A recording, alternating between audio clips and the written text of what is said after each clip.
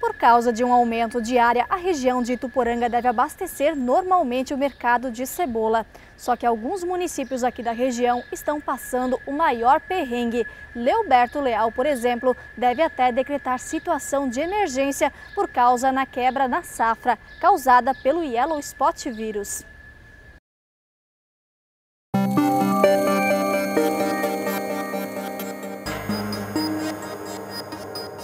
Esta seria uma época de ver lavouras verdes de cebola, algumas maturando e outras já em fase de colheita. Só que nas localidades de Alto Vargedo e Barra Grande em Leoberto Leal não se vê nada além de terras aradas e outras culturas como milho.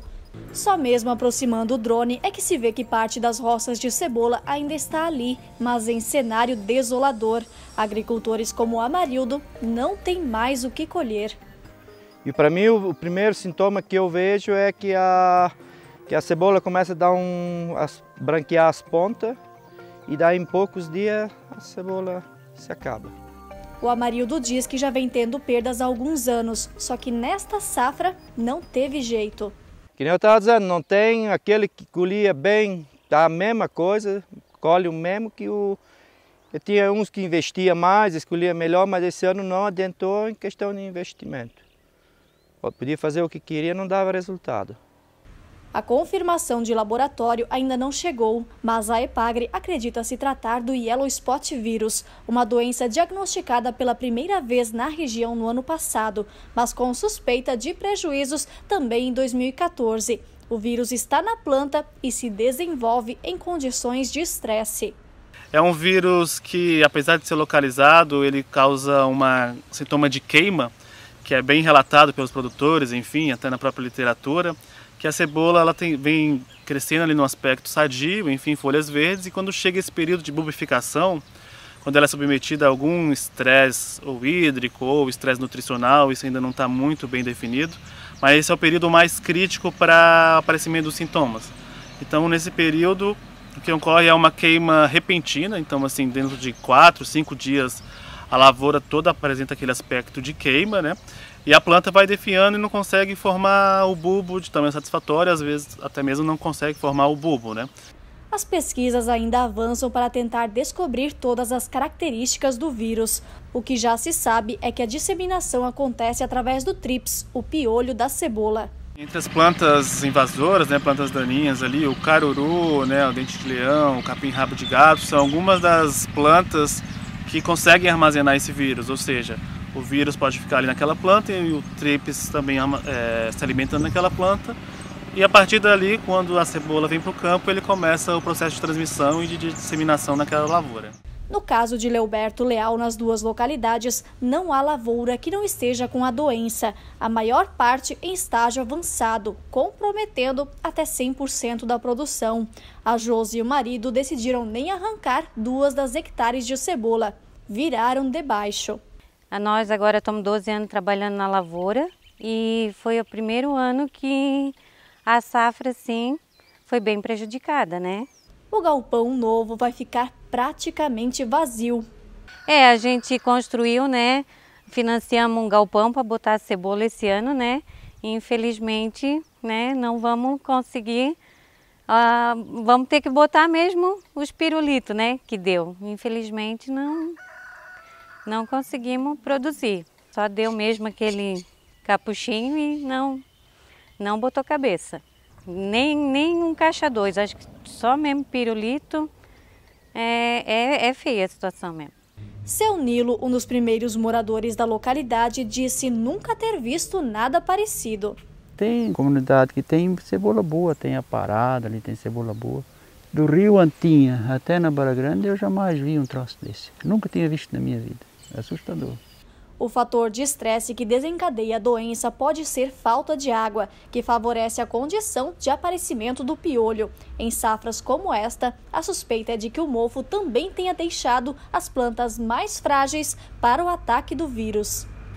a gente sabe da dificuldade de controlar o inseto, né, pela localização que o inseto fica, enfim, até pela própria eficiência dos produtos que a gente tem hoje no mercado.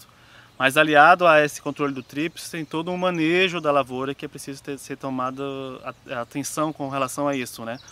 Que é a questão do manejo da irrigação, a própria questão do manejo da adubação, né, qualidade nutricional da planta, é, o controle de plantas invasoras também, porque essas plantas daninhas elas podem servir como fonte de inóculo para o vírus, ou seja, o vírus fica armazenado ali naquela planta, o inseto se alimenta e quando aparece a cebola, o inseto vem para a cebola e começa toda a transmissão do vírus e a epidemia ocorre né, de forma muito agressiva.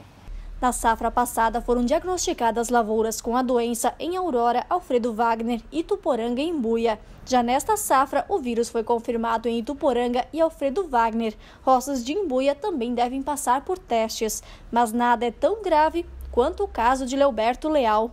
Como a virose é complexa e o manejo também é, é complexo, né, deve ser integrado, então tem algumas, várias condições que a gente levanta, né? a própria condição do solo, né, a utilização da mesma área de cultivo por muitos e muitos anos, né, isso vai causando uma certa degradação e um certo estresse no próprio solo, que também é um, é um, um organismo vivo, né. É, o próprio tipo de manejo de irrigação, os produtos é, que são aplicados, então todos esses são fatores que vão é, levando à intensificação, vamos dizer assim, da ocorrência dessa virose, né. O município deve decretar situação de emergência nos próximos dias. Leoberto Léo é um município agrícola, essencialmente agrícola. A cebola e o fumo são destaque no nosso município e nós dependemos muito dessa cultura para o bom desenvolvimento do nosso município, para nós atender os nossos agricultores no retorno na saúde, na educação, na, até mesmo na própria agricultura, com melhoria de estrada do ICMS, né, do movimento econômico que essa cultura representa para Leoberto Léo. O prefeito diz que os impactos ainda são imensuráveis. Leoberto Léo sempre se enquadrou dentro do, do contexto da cebola como um dos municípios de melhor qualidade de cebola. Esse ano, nossos agricultores, né, a gente tem conversado, tem visitado os nossos produtores. A cebola começou muito bonita, muito exuberante, né? Talvez ia ser uma das melhores safras de cebola de 2018 em Leoberto Leal. Os agricultores jovens, agricultores que queriam realmente ficar em nosso município, se preparar para, para o futuro em Roberto Leal, mas conversando com alguns, já disseram-me que, é, que estão partindo para outra atividade e até mesmo para outra região do nosso estado do Brasil. Nos dois casos que relatamos, os agricultores acionaram o Proagro, que é o seguro do Pronaf. Diferente do mofo, que tem controle reconhecido, o agricultor pode receber indenização, só que não tem data para saber e a agonia é grande. E no meio de tudo isso, ainda é preciso coragem para pensar em produzir de novo. Ali não, não é um, não é um e não é dois, é todo ele, né, que os plantadores. E daí é assim, ó, que nem eu estava dizendo, o, o problema é ano que vem, se do jeito que está não tem mais plantar. Dá medo de plantar? Dá. Eu tenho medo, eu falo a verdade. Eu não tenho mais coragem de... Mas vamos fazer o quê? Somos obrigados a plantar. Só que a gente tem que pensar assim, que tem, a gente tem saúde, né? E tem que começar de novo, né? Não temos como fazer, fazer um dinheiro de plantar milho e coisas. Nossas áreas são muito pequenas.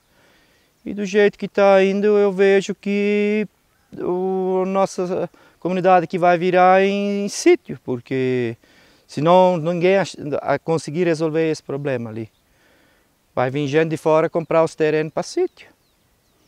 Se tratando de manejo, as dicas são irrigar de forma a evitar o estresse hídrico, na medida certa, nem de mais e nem de menos, combater as plantas que possam hospedar o TRIPS, fazer a rotação de culturas, deixar o solo descansar por pelo menos um ano antes de voltar a produzir cebola e, neste tempo, é claro, também não deixar esta terra ter as plantas hospedeiras. Neste último ano, a Ipagre colheu amostras em lavouras sadias e contaminadas para fazer uma comparação.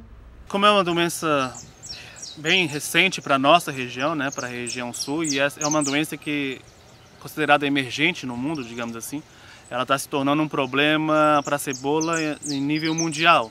Então, vários países estão tendo maiores problemas com a ocorrência dessa virose e vários grupos de pesquisa também tentando desempenhar trabalhos, enfim, no, no intuito de manejar de forma correta.